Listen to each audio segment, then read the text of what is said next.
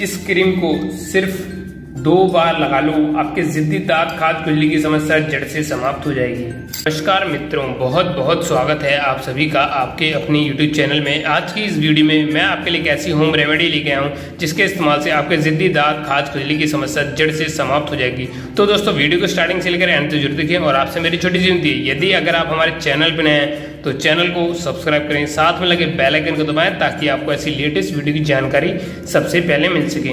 दोस्तों, दांत खाद खुजली की समस्या आज की डेट में हर एक व्यक्ति के साथ देखी जाने लगी है और यह परेशानी हर एक मौसम में देखी जाती है, चाहे सर्दी हो, चाहे गर्मी हो।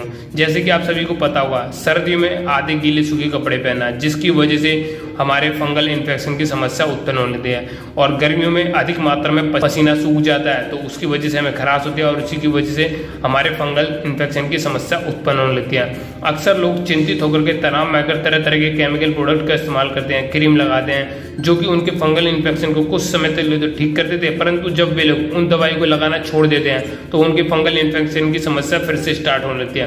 तो दोस्तों, आपको बिल्कुल भी घबराने की आवश्यकता नहीं, आज की होम रेमेडी आपके लिए बहुत ही ज़्यादा इफ़ेक्टिव और फ़ायदेमंद होने वाली है। तो दोस्तों, आपको सबसे पहले जो लेना है, हमारा है ये डिटॉल डिटॉल में दोस्तों एंटीसेप्टिक एंटीबायोटिक और एंटी एंटीटिक गुण पाए जाते हैं, जो कि दोस्तों आपके फंगल इन्फेक्शन से तुरंत ही राहत दिलाते हैं और आपके दांत खाज वाले स्किन को पहले जैसे बनाते हैं। तो आपको एक चम्मच के तकरीबन ले लेना है हमारा ये डिटॉल।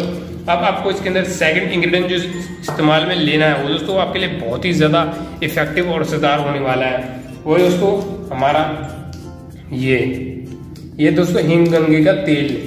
हिमगंगे तेल के अंदर दोस्तों कुछ ऐसे गुण पाए जाते हैं एंटी एंटीटिक एंटी बैक्टीरियल और हाई एंटीऑक्सीडेंट जो कि दोस्तों आपके फंगल इन्फेक्शन से तुरंत राहत दिलाता है, साथ ही साथ आपकी स्किन को पहले जैसे बनाता है और दोस्तों ये आपके जलने के निशान को भी जड़ से समाप्त करता है। दोस्तों आपको इतनी सी मात्रा में ले लेना है हिमगंगे का तेल।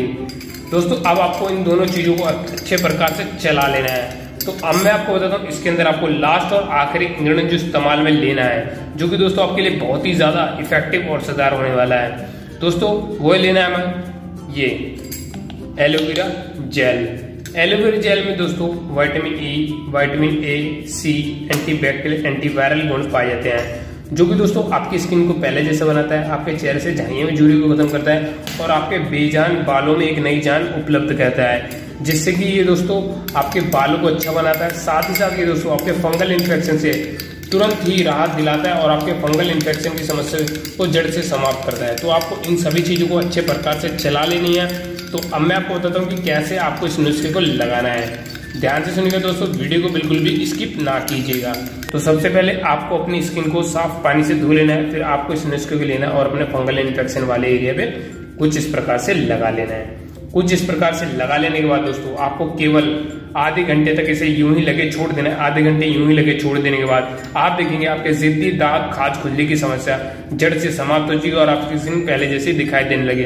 यदि अगर आप इस रेमेडी को सिर्फ़ और सिर्फ़ एक दिन में दो बार इस्तेमाल करते हैं तो आप देखेंगे आपके जिद्दी दाग खाज खुजली की समस्या अभी की अभी एक ही दिन में समाप्त हो चुकी है। तो दोस्तों, आज की इस वीडियो में बस इतना ही। उम्मीद करता हूँ आपको हमारी वीडियो पसंद आएगी। वीडियो पसंद आई वीडियो को लाइक करें कमेंट करें शेयर करें। और आपको कोई फैमिली फ्रेंड्स से भी इस परेशानी से जुड़ी रहा, उन भाई के साथ भी व्हाट्सएप पे फेसबुक शेयर कीजिए। धन्यवाद।